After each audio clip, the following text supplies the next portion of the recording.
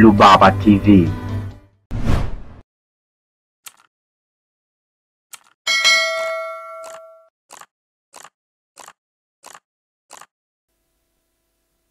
Kampuni ya Japan Tobacco Incorporation au kwa kifupi inayofahamika kwa kama GTI imeahidi kununua kilo milioni 30 za tumbaku kutoka kwa wakulima wa Tanzania katika msimu ujao wa kilimo.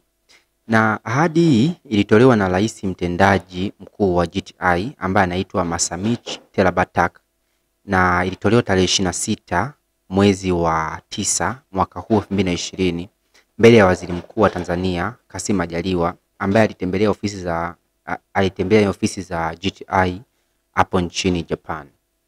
Na akizungumza baada ya kikao hicho, waziri mkuu amesema kwamba uamuzi wa kampuni hiyo kuongeza kiwango cha ununuzi wa tobako, tumbaku au tobako utatoa ahueni kwa wakulima wa Tanzania ambao walikuwa hawana uhakika wa soko la zao hilo, kwa sababu tunafahamu kuna wakulima wengi sana ambao wanategemea kuendesha maisha yao kutokana na zao hili.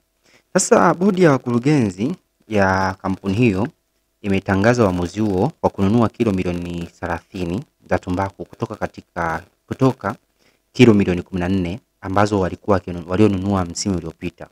Hii ni fursa kubwa sana kwa wakulima wetu, kwani kiasi hicho ni zaidi ya uzalishaji ambao wazalishaji wakulima wazalishaji Tanzania wanazalisha. Kwa hiyo ni zaidi ya, ya uwezo wetu. Kwa hiyo ni fursa kwa kila mkulima wa zao la tumbaku.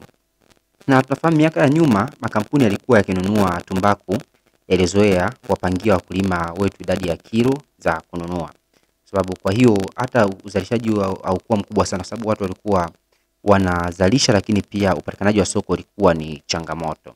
Kwa hiyo hii ni fursa sana kwa wafuga, I mean wakulima wa tumbaku, na kama wewe unaona ni mtu ambaye unaweza ukachangamkia hiyo fursa, basi vyovyote vile inaweza ikawa ni fursa kwako. Ni nini maoni yako? Unaweza ukakomenti hapo chini, na sisi kwa wakati muhimu na wakati sahihi tutakujibu.